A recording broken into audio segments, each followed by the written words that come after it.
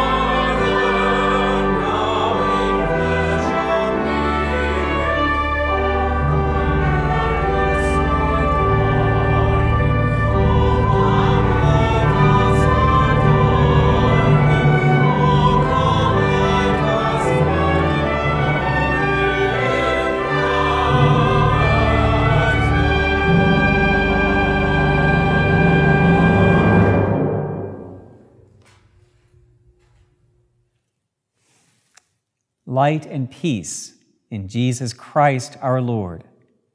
Thanks be to God. Let us pray. Almighty God, we give you thanks for surrounding us as daylight fades with the brightness of the Vesper light. And we implore you of your great mercy, that as you enfold us with the radiance of this light, so you would shine into our hearts the brightness of your Holy Spirit through Jesus Christ our Lord. Amen.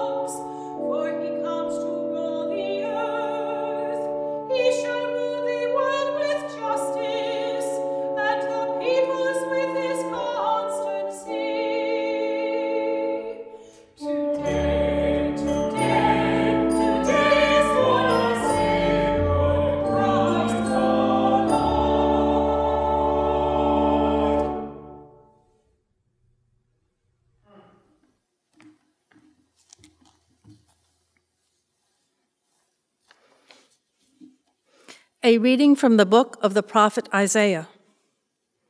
The people who walked in darkness have seen a great light. Those who lived in a land of deep darkness, on them light has shined. You have multiplied the nation, you have increased its joy. They rejoice before you as with joy at the harvest, as people exult when dividing plunder.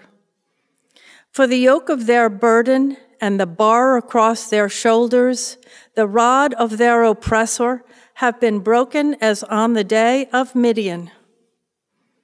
For all the boots of the tramping warriors and all the garments rolled in blood shall be burned as fuel for the fire.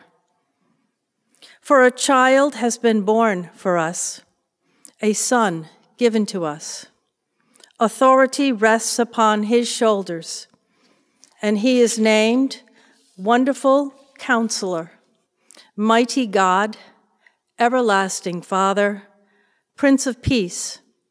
His authority shall grow continually, and there shall be endless peace for the throne of David and his kingdom. He will establish and uphold it with justice and with righteousness from this time onward and forevermore. The zeal of the Lord of hosts will do this. The word of the Lord. Thanks be to God.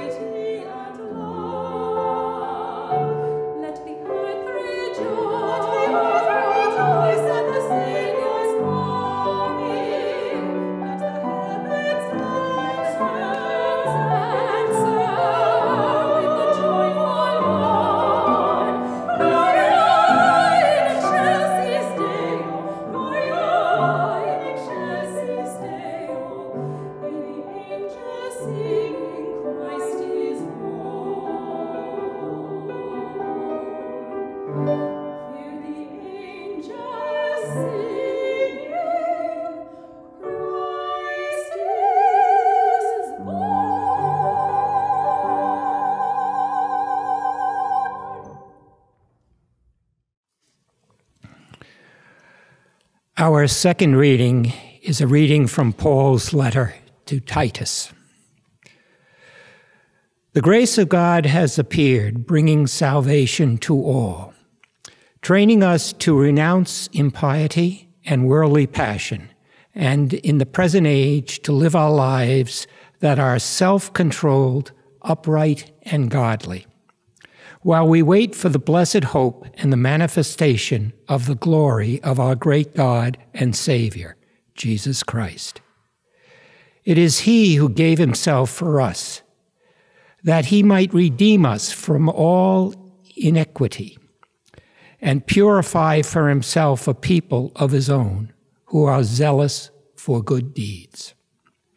The word of the Lord. Thanks be to God.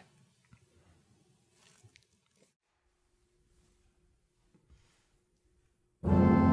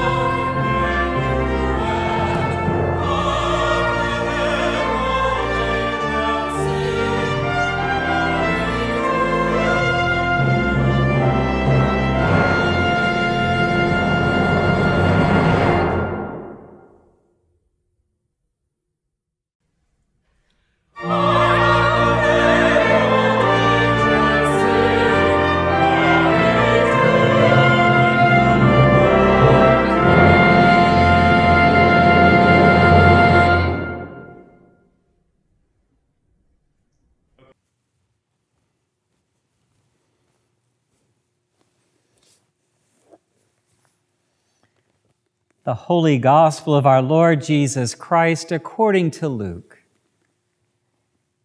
In those days, a decree went out from Emperor Augustus that all the world should be registered. This was the first registration and was taken while Quirinius was governor of Syria. All went to their own towns to be registered. Joseph also went from the town of Nazareth in Galilee to Judea to the city of David called Bethlehem, because he was descended from the house and family of David. He went to be registered with Mary, to whom he was engaged, and who was expecting a child. While they were there, the time came for her to deliver her child, and she gave birth to her firstborn son, and wrapped him in bands of cloth, and laid him in a manger because there was no place for them in the inn. In that region, there were shepherds living in the fields, keeping watch over their flock by night. Then an angel of the Lord stood before them, and the glory of the Lord shone around them, and they were terrified.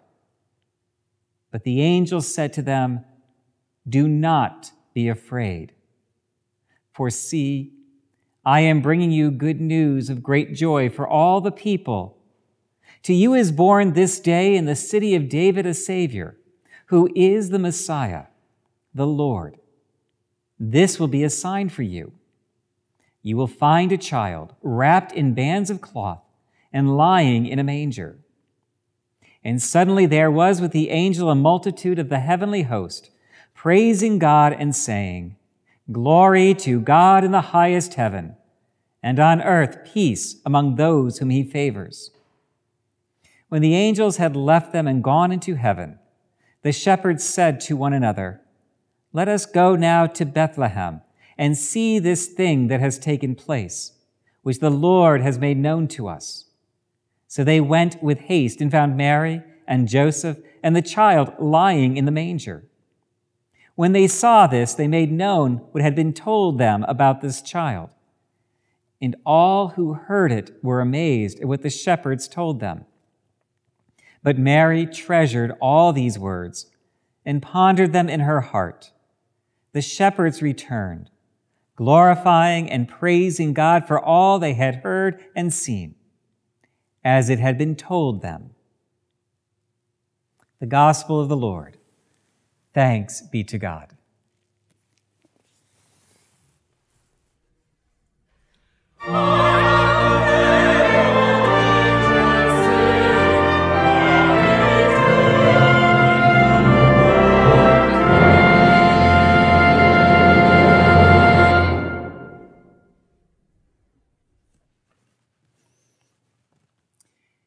In the name of God, Father, Son, and Holy Spirit.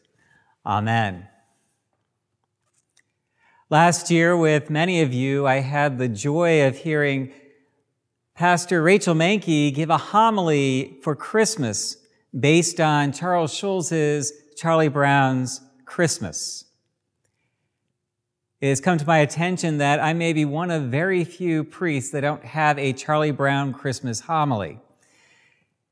And I did a lot of thinking about that this year and wanted to see how I could perhaps put together a homily based on Charlie Brown and came to the conclusion that maybe this year isn't really meant to be about a Charlie Brown Christmas. Instead, I have come to realize that maybe today is more in line with another great Christmas story, that of Dr. Seuss and how the Grinch stole Christmas. For many of us today, it may feel like that is where we're at. Just like those in Whoville who wake up on Christmas morning to discover that all the decorations, all the presents, and even the roast beast has been taken. From the Grinch's perspective, and in his mind, that meant that he had taken Christmas with him. But then only to realize that no matter what the restrictions may be this Christmas, no matter the fact that we have a pandemic going on around us, Christmas has still come. It has come this year without the festivities of Advent. As one person pointed out to me earlier this month, it comes without the Christmas bazaar, the Advent, Advent services of lessons and carols, the gatherings, and all that makes Advent so much of a rush and a time of total exhaustion. But even without all that, Christmas still has come. And maybe this year, unlike years past, the depth of the message of Christmas can be more clearly heard. As the Grinch discovered as he was climbing Mount Crumpit, and heard the joining of the voices of the Who's down in Whoville, there is something about Christmas that supersedes any form of limitation, any form of pandemic and fear. For Christmas is about one simple message brought to us during the birth of a child in a manger and the words of an angel Don't be afraid. That seems to be the common message of the angels. For when Gabriel comes to Mary to announce that she will have a child, her words to Mary right from the start are, Do not be afraid, for the Lord is with you. Her same greeting goes to Joseph in a dream.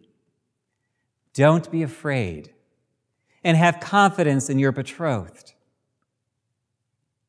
And then to the shepherds who sat guard over their sheep, who had a lot of reason to be on edge as they protected their sheep from the creatures of the night.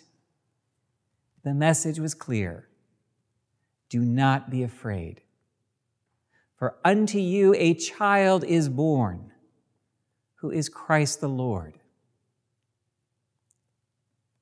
The message of Christmas is about why we, as a people of God, have no need to fear. For God is with us, who into our darkness and into the depths of our despair, no matter where we may find ourselves, God is there. Psalm 139 tells us that no matter where we go, to the heights of the mountains or the depths of Sheol, God is there. St. Paul, in his letter to the Romans, no matter how dire a situation may seem or be, there is nothing that can separate us from the love of Christ. That is the true message of Christmas no matter how dark or dismal it may feel. We have nothing to fear, for God is with us. Perhaps this Christmas is not devoid of a Charlie Brown message. In the midst of Linus Van Pelt telling his story, when he pronounces the words of the angel, Fear not, he drops his security blanket. A subtle message to the world that even a small child who holds on to his blanket for dear life to protect him from the world, even he can understand that God is with him and he needs no crutch, not even his security blanket. on this Christmas night or Christmas day, in the midst of a very different Christmas. The words of St. John says it all. The light has come into the darkness, and the darkness shall not overcome it. So even though this Christmas may have come without the parties, perhaps even without all the accoutrement that leads up through Advent of bazaars and concerts, Christmas has still arrived, and its message has remained the same. Do not be afraid, for in it all, God is truly with us. Amen.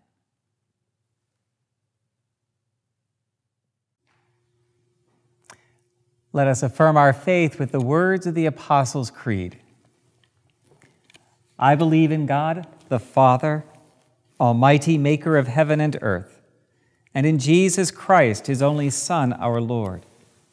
He was conceived by the Holy Ghost and born of the Virgin Mary suffered under Pontius Pilate, was crucified, dead, and buried. He descended into hell. The third day he rose again from the dead. He ascended into heaven and sitteth on the right hand of God the Father Almighty. From thence he shall come to judge the quick and the dead. I believe in the Holy Ghost, the holy Catholic Church, the communion of saints, the forgiveness of sins, the resurrection of the body and the life everlasting. Amen. The Lord be with you and with thy spirit. Let us pray. Our Father who art in heaven, hallowed be thy name. Thy kingdom come, thy will be done, on earth as it is in heaven. Give us this day our daily bread, and forgive us our trespasses, as we forgive those who trespass against us. And lead us not into temptation, but deliver us from evil. For thine is the kingdom, and the power, and the glory, forever and ever. Amen. O Lord, show thy mercy upon us and grant us thy salvation.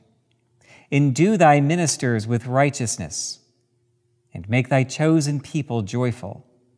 Give peace, O Lord, in all the world, for only in thee can we live in safety. Lord, keep this nation under thy care and guide us in the way of justice and truth. Let thy way be known upon earth thy saving health among all nations. Let not the needy, O Lord, be forgotten, nor the hope of the poor be taken away. Create in us clean hearts, O God, and sustain us with thy Holy Spirit. O God, who makest us glad with the yearly remembrance of thy birth of thy only Son, Jesus Christ, grant that we, joyfully receive him for our Redeemer, so we may with sure confidence behold him when he shall come to be our judge, who liveth and reigneth with you in the Holy Spirit, one God, world without end. Amen. Lighten our darkness, we beseech thee, O Lord, and by thy great mercy defend us from all perils and dangers of this night, for the love of thy only Son, our Savior, Jesus Christ. Amen. O God and Father of all, whom the whole heavens adore, let the whole earth also worship thee, all nations obey thee, all tongues confess and bless thee, and men and women everywhere love thee and serve thee in peace through Jesus Christ our Lord. Amen.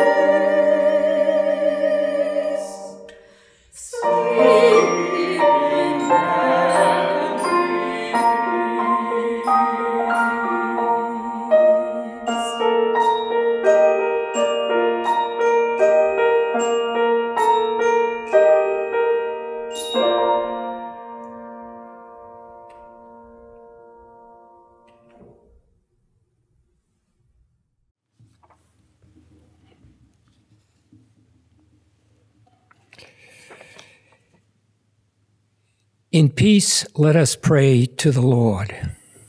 Father, on this holy night, your Son, our Savior, was born in human flesh.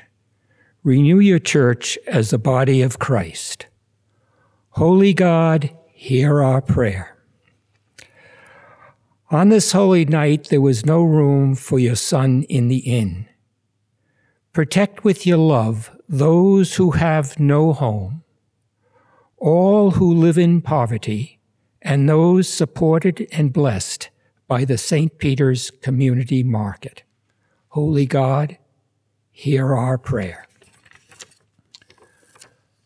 On this holy night, Mary, in the pain of labor, brought your Son to birth.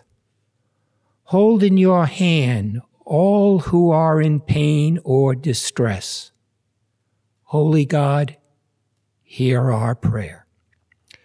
On this holy night, your Christ came as the light shining in the darkness. Bring comfort to all who suffer in the sadness of our world, and especially those mourning the loss of loved ones this Christmas. Holy God, hear our prayer. On this holy night, the, ang- the angels sang, Peace to God's people on earth. Strengthen those who work for peace and justice in Iraq, Afghanistan, Syria, and most especially in the Holy Land. Holy God, hear our prayer. On this holy night, shepherds in the field heard good tidings of joy. Give us grace to preach the gospel of Christ's redemption. Holy God, hear our prayer. On this holy night, strangers found the Holy Family and saw the baby lying in a manger. Bless our homes and all whom we love. Holy God, hear our prayer. On this holy night, heaven is come down to earth, and earth is raised to heaven. Hold in your hand all those who have passed through death in the hope of your coming kingdom. Holy God, hear our prayer. On this holy night, Christians the world over celebrate Christ's birth. Open our hearts that we may be born, that he may be born in us today. Holy God, hear our prayer. On this holy night, we pray for all those who have died especially those listed in the back of the bulletin, in whose memory the flowers and music for tonight have been given. Holy God, hear our prayer. Father, on this holy night, angels and shepherds worshiped at the manger throne. Receive the worship we offer in fellowship with the Blessed Virgin Mary, Saint Joseph, and all the saints through him who is your word made flesh, our Savior, Jesus Christ. Amen.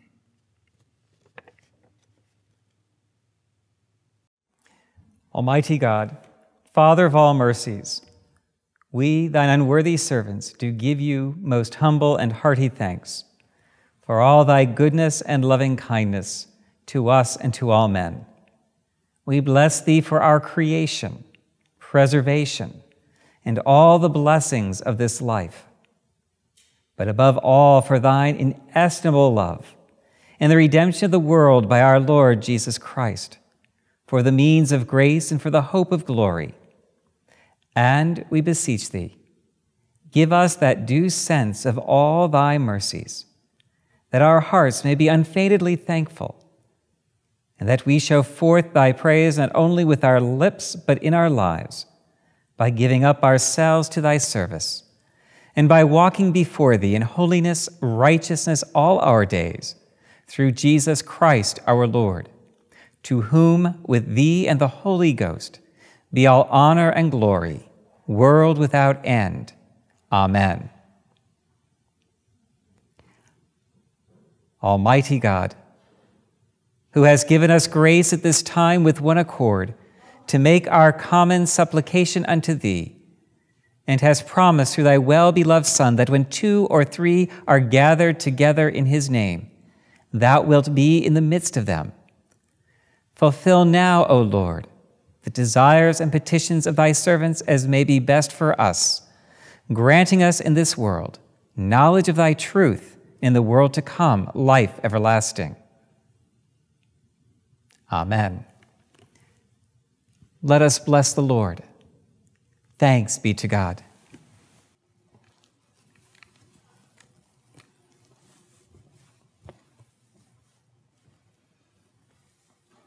May Almighty God, who sent his Son to take our nature upon him, bless you in this holy season, scatter the darkness of sin, and brighten your heart with the light of his holiness. Amen. May God, who sent his angels to proclaim the good news of the Savior's birth, fill you with joy and make you heralds of the gospel. Amen. May God, who in the Word made flesh, joined heaven to earth and earth to heaven, give you his peace and favor. Amen. And the blessing of God Almighty, the Father, the Son, and the Holy Spirit be with you and remain with you always. Amen. Let us join in singing the first three verses of Joy to the World.